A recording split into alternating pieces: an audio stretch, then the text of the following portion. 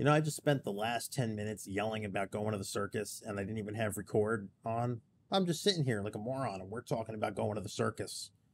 And it was all wasted. I don't even know what I said. Something about elephant, elephants or clowns or something. The, the bottom line is uh, I don't like to go out. And if I do go out, I'm not going to the circus.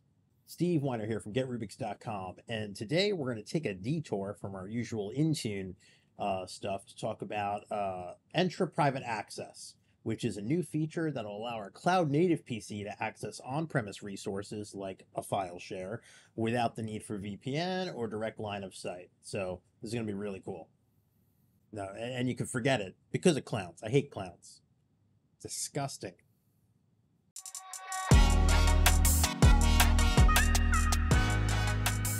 Get Rubix solving for the modern workplace. We're in Entra. We're going to go to Global Secure Access and this is all still in preview, right? Um, so it's a good idea to go to get started and you're going to basically be able to choose between private access and internet access. Today we're just talking about private access. This is basically a way to, without VPN, to get uh, cloud native endpoints, or you know, you can do this with Hybrid Join as well. But our purpose is to get cloud native endpoints access to our domain resources uh, without VPN. So uh, this will bring us to the learn page, and obviously there's a lot of stuff here, but I just wanted to point you to the prereqs, right? Um, as far as this is still in preview, you need at least the Entra ID P1 license. And I'm going to put the link below so you can look at the other network requirements. But from a licensing perspective, if you have P1, which most folks have, you're fine. So I'm going to go down to connect and go to traffic forwarding. So what I what you have to do is you have to onboard one of these. I already turned on private access profile, and that's what we're looking for. And this is the piece that allows access to the on-prem resources and you have to assign it to a group of users for now i've chosen to assign to all my users but you can scope this to specific groups if you like which is probably a good idea in the future. Okay, so my next stop is to go down to connectors. So we're going to need this network connector in order to um, basically run this on the domain. Um, and this is pretty much the same as the Azure App Proxy. So what I am going to do is I'm going to grab this from the domain so I could just download it right there. Uh, there's Edge. Let's do that. Okay, we're back over here. Connect, connectors. And let's go ahead now that we're on the AD server, download the service connector. I do accept those terms. Um, you need 2012 R2 or higher. This is a 2022 server or 2019 server. Uh, this is 2022, so we have uh, we have very much met the minimum requirements. So I am going to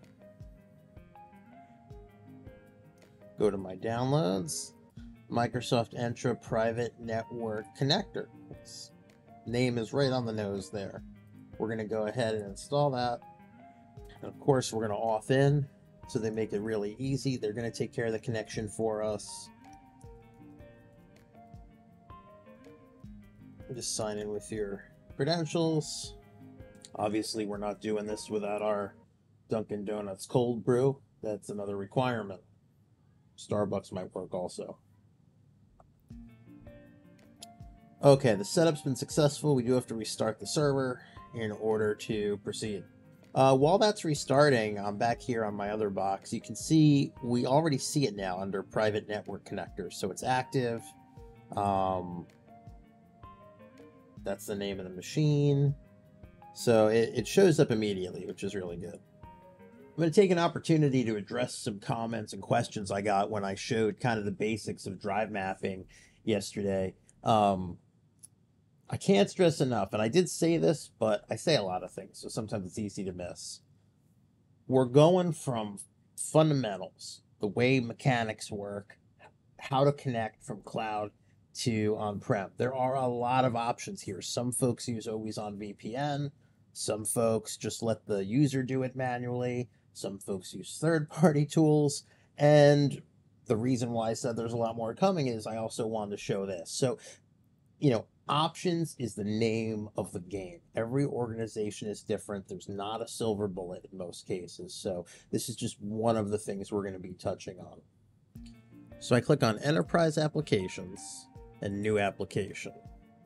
Uh, we're going to call this SMB File Share we're going to add the application segment. Now, this just specifies what we're connecting to. I'm going to click on the fully qualified domain name. So this would be dc01.rubixdev.com. So that's the that's the name of my my file share server. And the ports, um, I'm just going to do 445. Um, that's all you should need for SMB. If you were doing remote desktop, you would have 3389 and obviously in a respective port for the service, but we'll leave it at that. So I'm going to hit save. And what this is going to do is this is going to verify traffic between, uh, you know, basically what I'm trying to ping up here and then the connector on-prem and make sure that it's established and that'll be my application. Great. So with that there, I'm going to go back to enterprise applications and we should see it, SMB file share. And like any other app here, you can do roles and administrations, users or groups. I'm going to add users who can access this. I'm going to just choose all employees. It's a group I have that is looking for basically all active users. So we're going to kind of keep this simple for now. The next thing we have to do is we have to enable access on our devices. So we have to grab our client. So you can see that the client, uh, they have an early access Mac one. There are apps for iOS and Android. So this works across the board. And we're going to deploy this with, um, with Intune. But take a look at the requirements here. Microsoft Entra joined. You need local admin permissions to install. Of course, we're going to install that with Intune. Um, so it's designed for the cloud native device, right? So there we go. Global access client, not a problem. Okay, so folder called GSA, oh, GSA client, and we're going to put the client in there. We're also going to put the WinApp util in there. So I'm going to click on this, run it as administrator, and our setup file, of course, will be the global Secure access client. Gotta love these names. They are very accurate. All right. So what I'm going to do is in another tab, I'm going to open Intune up. We are going to go to Apps, Windows, Add. I'm going to hit Select. And we are going to say we want the GSA client. So we're going to call this Global Secure access client. Uh, I'm gonna just take this cool description line and be a little fancy here.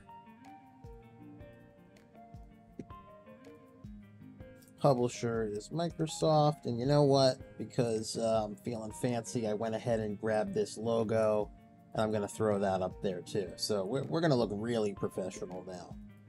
Okay, so how do we install this? It's global secure access client.exe install switch quiet very easy and we can do the same for the uninstall just change install to uninstall and you're good to go there we go it's going to be system it's going to run on 64-bit uh, windows whatever version. Obviously, it's only built for later ones, but whatever. And our detection rule is going to be the path it ends up sitting on. So it's going to be the file path. It's in C, program files, global secure access client, and the file name is, of course, global secure access client.exe and we want the file or folder to exist. I'm going to make it available for all users just so we can see it. Alright, so that finished. Now we play the waiting game. Let me pop open some virtual clients and see what the deal is. Okay, so just to confirm the machine I'm on, I am on a cloud native machine logged in as Morty. Um, and this is the same machine we had the network drive on, but I killed the VPN connection and um, I'm pretty much gonna, you know, th this is dead here because right? I, I don't have connectivity to the domain anymore. Um, so we're not on the network. Uh, I killed the VPN. Okay. So yeah, this is just out in the cloud with no on-prem access or resources. Okay, so you can see the Global Secure Access client is here. I'm going to go ahead and install it. And obviously this you can push this out as, you know, required. I just speeding up the process here. So we'll let it do its thing. Kind of like that I added the description and the picture. I, it makes me feel better about myself. It's a, it's a good, it's a, feels good. Boom, look at that. So it can tell what I'm already signed in with. So I'm going to authenticate with my Azure creds. Um, it's going to prompt me for MFA. Um, all right, I'm going to block this out because I don't need people calling me. Okay, verification complete. Alright, so let's see... First, let's see what I messed up in the detection method. Oh, they're actually... Okay, I messed up the name. Client... Checker. Alright, no biggie. It installed. Alright, so let's do a quick uh, NS lookup.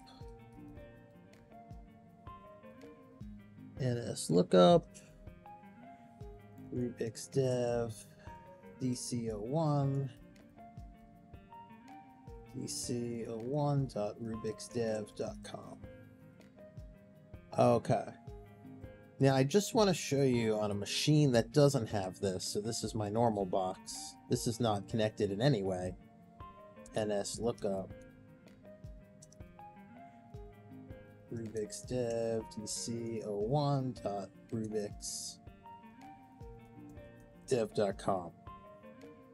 Right. Can't, can't find it. It's non existent. Right. So, you know, it's because of the secure access client. So I want to take the full file path and see if I can get to my shares.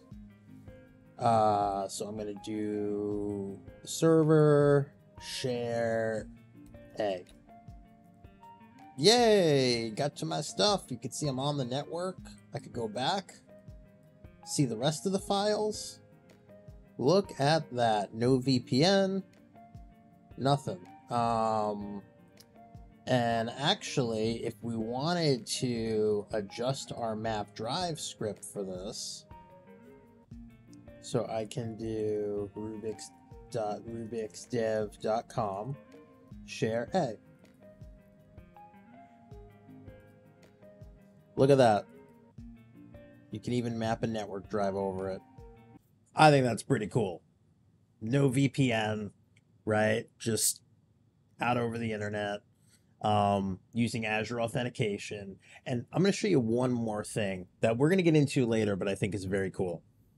I'm going to go to um, conditional access in my tenant because this has a lot of security implications.